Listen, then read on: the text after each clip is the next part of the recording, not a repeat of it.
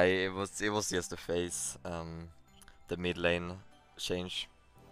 I realized um, every lane, every lane have their own their own. Um, you know, no no lane is perfect, right? We all uh, every lane has um,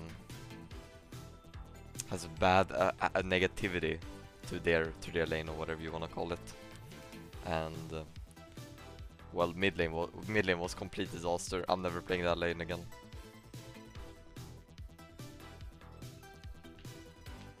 Top lane, you get to play versus Fiora.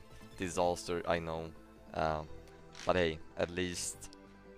At least, like, i rather die 15 times in top lane, uh, 15 good deaths, than die once in the mid lane, to be honest. That lane is horrible.